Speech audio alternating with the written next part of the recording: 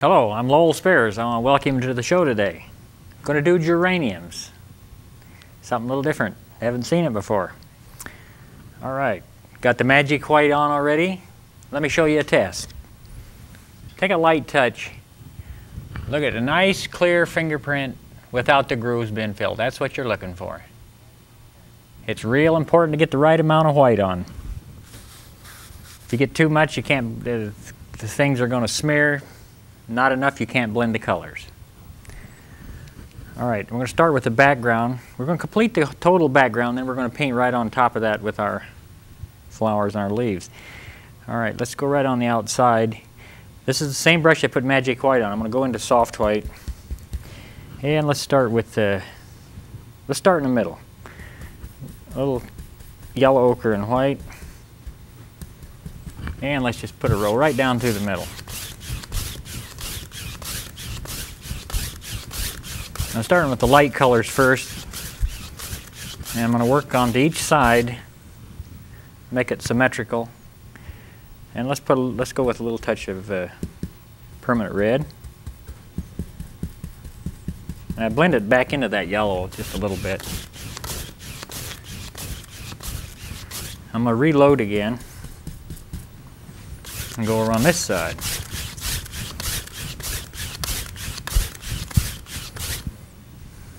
Now we've got into the red now. Let's, I'm going to go back into the red again. Then I'm going to go over here into violet. I don't want it too violet, so I'll take it back into the red a little bit.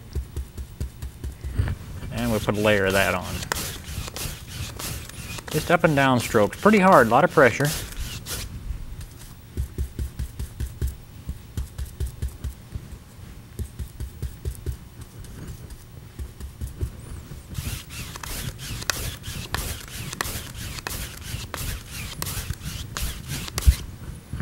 And then let's uh, let's go into uh, phthalo green. I even might hit the violet with that just a little bit. It's kind of pastel though. It's that's why I'm putting the white in it rather than going to the straight color. I could be just a little bit stronger on that one.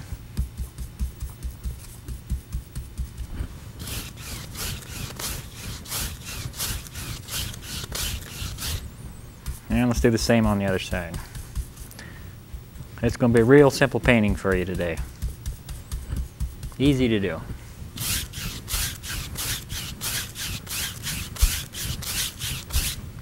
And, and finally, let's, let's go into, uh, I'm using Prussian blue today.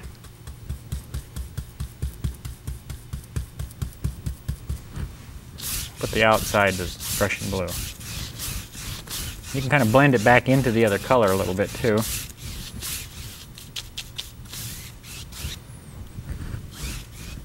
Let off the pressure a little bit as you blend if you want to blend it together.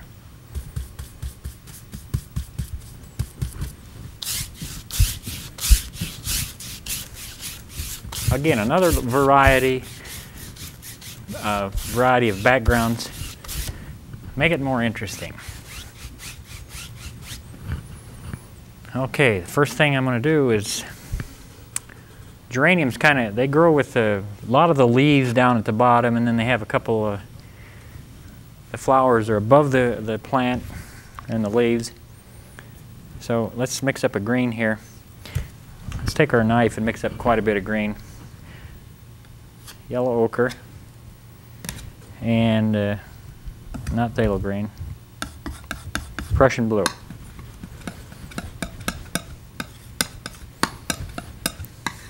And uh, since we're doing geranium, we'll call this geranium green.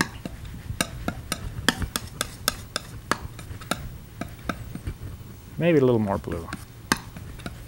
Put your, put your light colors down first and add the blue to it. You know, the blue's real strong, so you can just keep adding the blue and you can kind of come up with the green that you're looking for. And I feel real loose today. I'm gonna, I'm gonna do some of them leaves with, the, with this brush. I want quite a few green leaves. I don't want to paint them individually, so I'm going to do it fast. Watch, I'm going to take the corner of the brush and load it this way. And then I'm going to take it up here and just chop them in like this.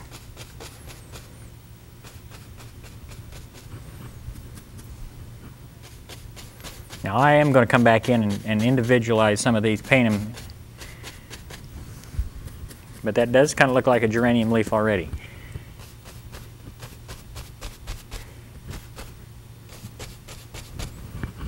They may be so good I don't have to do any more to them. Put another one on top of that one.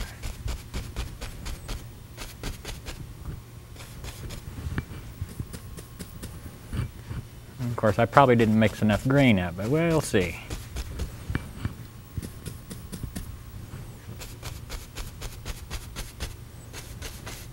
Pretty big leaves, too.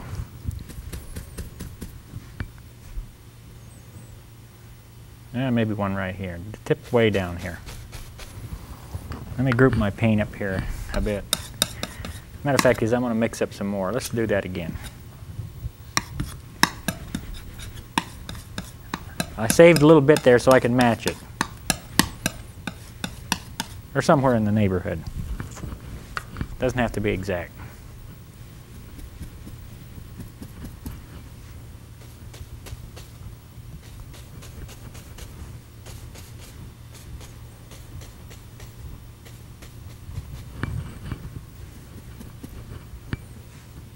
Uh, maybe right here.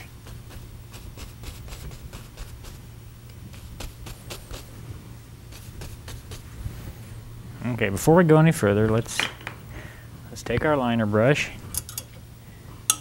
and let's put in a, uh, some stems and some grass. I'm not just going to paint the geranium leaves. I like to put in other fillers. Make a complete painting out of it.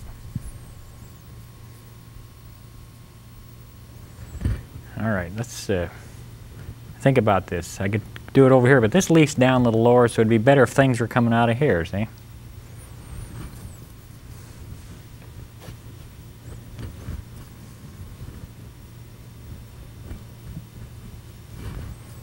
Let's go right up here on the top now and put our, we're going to have a couple of uh, flowers coming out of here.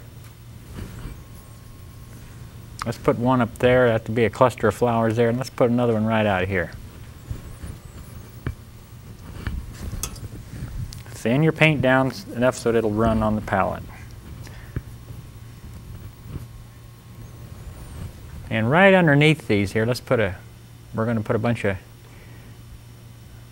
of flowers or little buds that aren't quite open.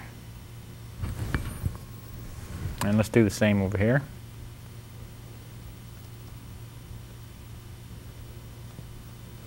That's right under the flower. And right on top, where the flower is, let's do this. There's quite a few uh, cluster of flowers in here.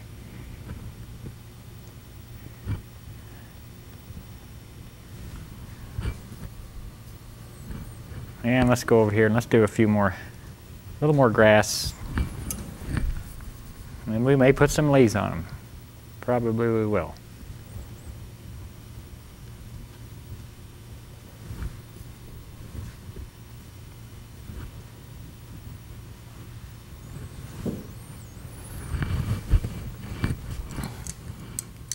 Okay, let's take a, this is a small leaf brush, a sable brush. I'm going right back into my green again. And let's go up here and let's do our little buds up here. Let's do a few of them that they're not quite open.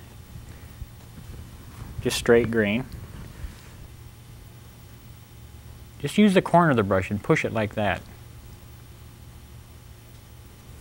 Okay, now let's double load the brush. Get the green on first, and let's go right up here in this permanent red. Now watch, I'm just going to put a little bit of red on the on the tip of it. I'll show you that when I get it loaded.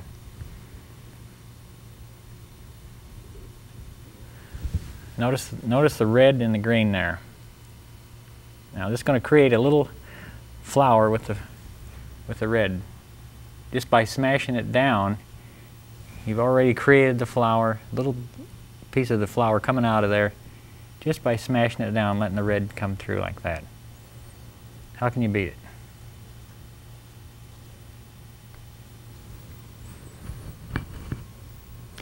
And if you need think you need to reload, just wipe it off. Go back into the green, do it again. Load both sides of the brush though. Let's see if it works a second time. Oh yeah.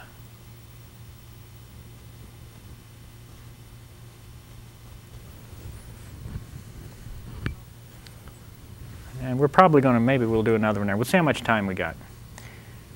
Let's, uh, let's go ahead and work on our flower. I'm going to take a filbert brush to start with. Let's try that to begin with on our flowers. And uh, let's take permanent red. Let's take it down here. Permanent red and a little bit. This is rose. And let's mix them together a little bit.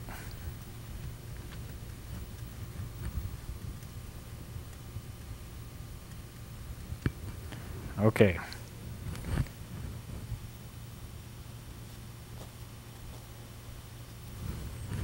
They come. Uh, this geranium comes in white, pink, and red.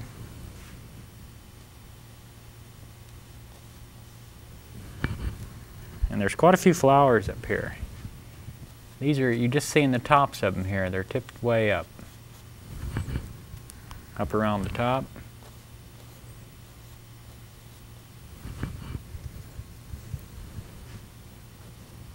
And they're overlapping each other. I could just made a blob of red up there and picked a few of them out that way. And I thought I'll individualize them a little bit for you.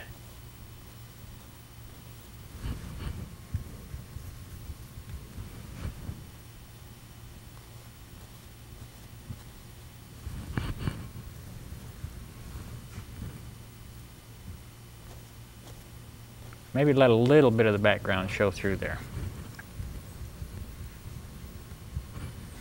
And let's do the same, something similar here.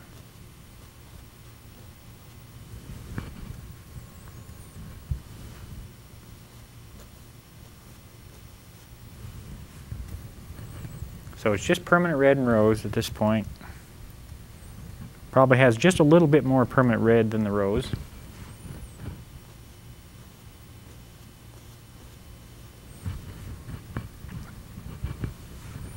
If you do the ones on the outside first, have them tipped up a little bit, and then when you come down in the front area, have one that's a little more open, say. And that creates a dimension and perspective in that group of flowers there.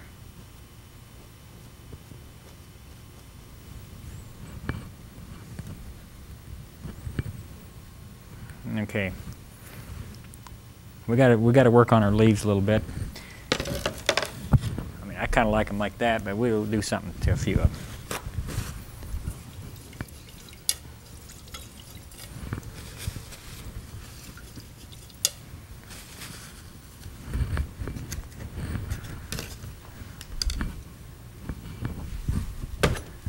Well, three times the charm. Let's make some more green.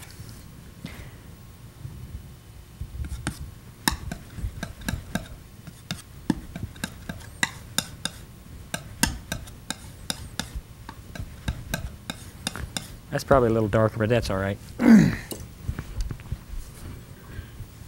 is back to our filbert brush again. And the, the reason I've selected that brush, it has the, the shape, has a rounded shape, and that's the the uh, shape of the uh, of the leaf.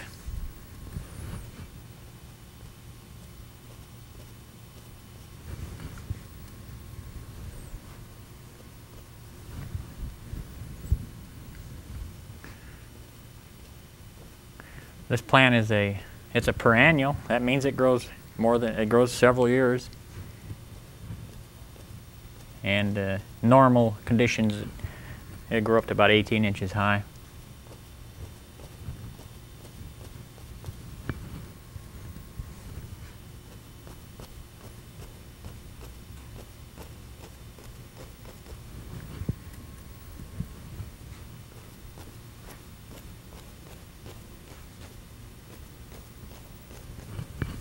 put some veins in these leaves also.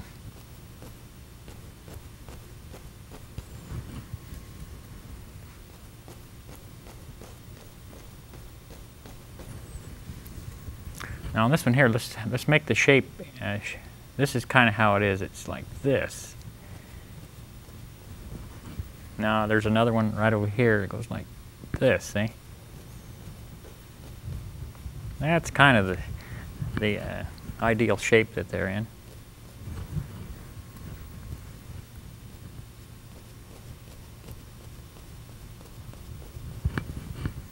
I'm sure everybody's seen a geranium. It's a, it's kind of a favorite flower. A pot, good potted plant.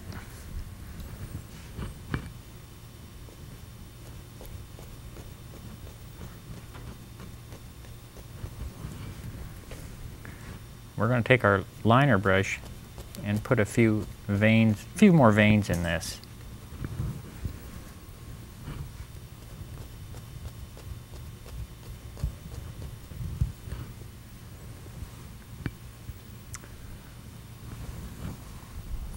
And we'll do that right now.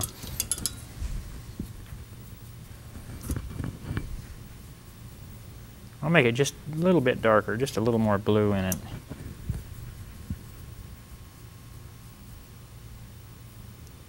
Let's try that and see what happens.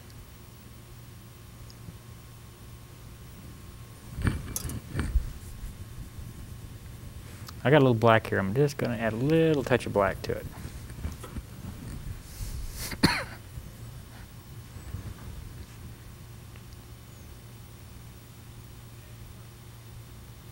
Just start from the outside and, and pull them into the center like that.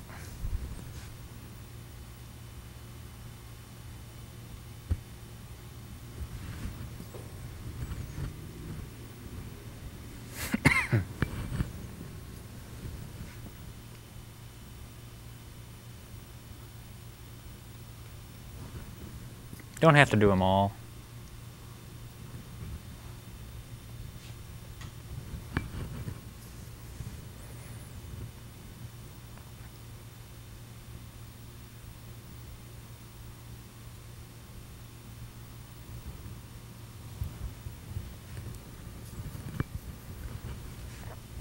Let's get a little more height with a few more of these.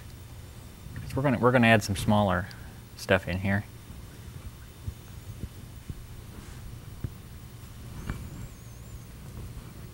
And let's uh, let's go back to our our small leaf brush.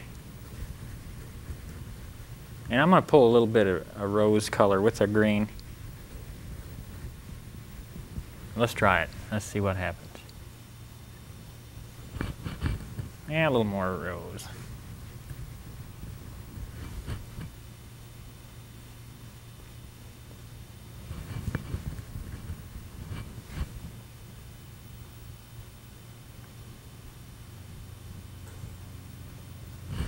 That leaf, this little leaf has a two movement. Let's go right over here and I'll tell you about a little bit. You got to lean it the way it grows. Then you rotate it out, lean it down from the round, down from that round area. Just twist and pull at the same time. Twist and pull.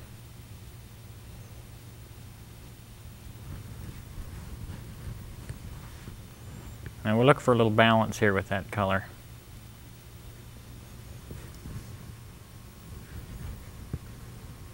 I'm just adding just a little bit more rose to it.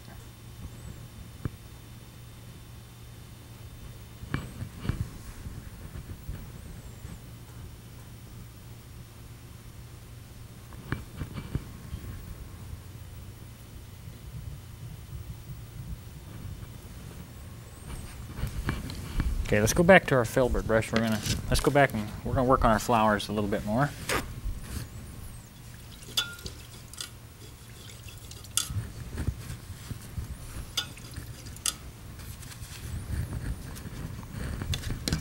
And let's take let's take uh, soft white and a little touch of yellow ochre. And of course we need some of our base color there, so which would be permanent red and our rose.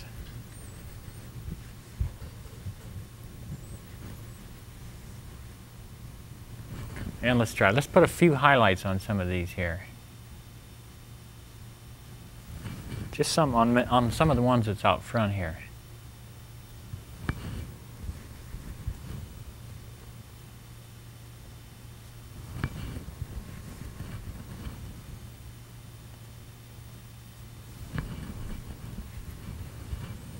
Maybe on a couple of them on that's on the edge here.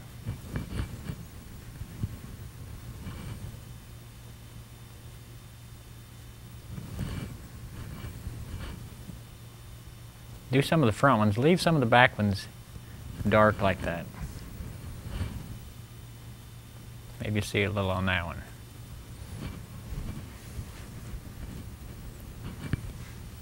Let's go on to our main one right here.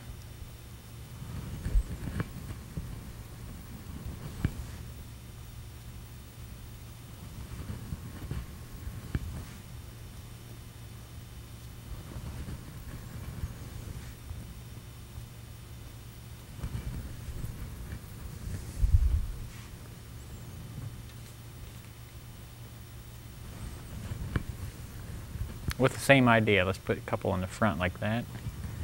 A little, little highlight in the front. Leave some of the dark behind.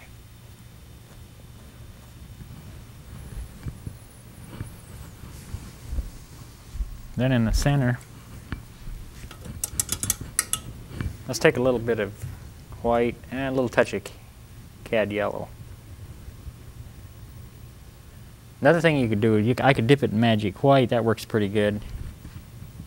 And a little touch of cad yellow. And let's just put a little center in a couple of these here. Just the ones that's looking at you.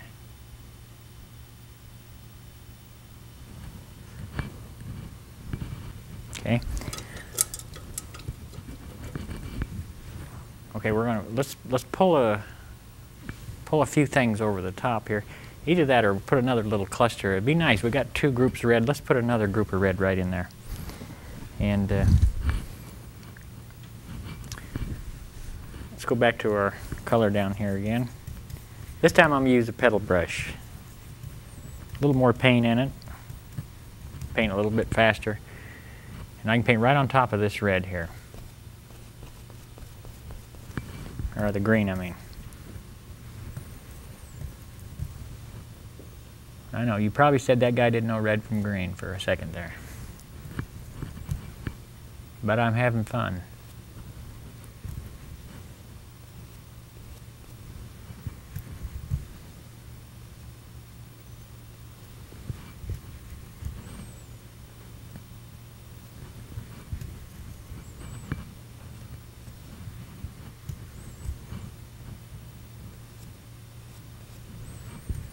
I don't have to be too particular, you know, right now. I can just put that color in. I can when I can start picking it out when I put a couple of highlights in there. And maybe this one's you're looking at, maybe we don't see the little buds. It's behind. Maybe it's curved down like that, okay? It's coming out at you a little bit.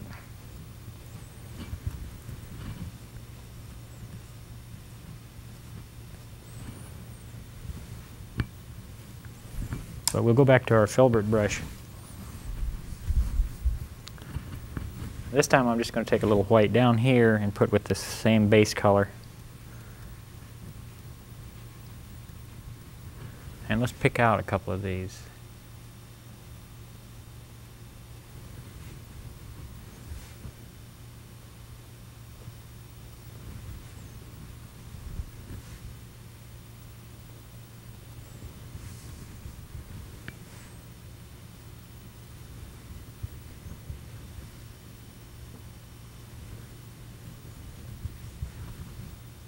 This one's on the edge, see?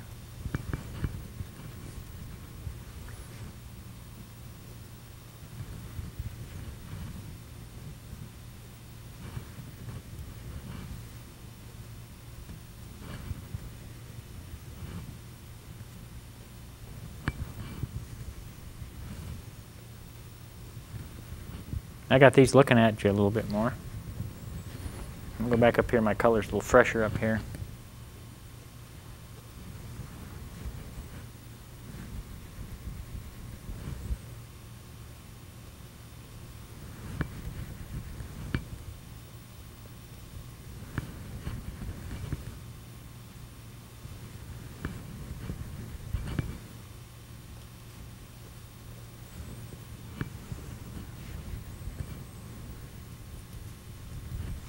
Also, if I feel like I want to add a few more, I can.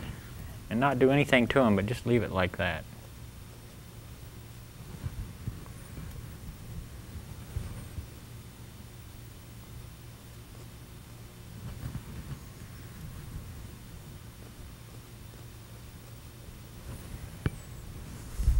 Except right here, I'm going to put a light on that one. Put us a little thinner in there.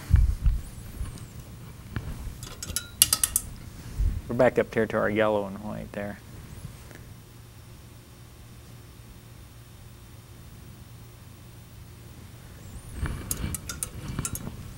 Put us a couple blades of grass in the front here. Maybe I'll lighten it up just a hair by putting a little cad yellow in, in and put a, pull a few lighter colors over top. It's a little lighter yet.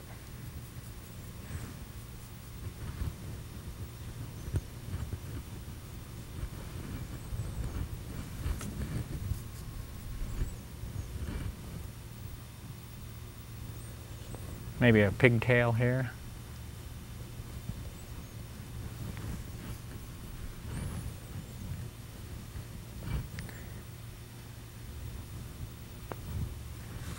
Well, did we have fun or what?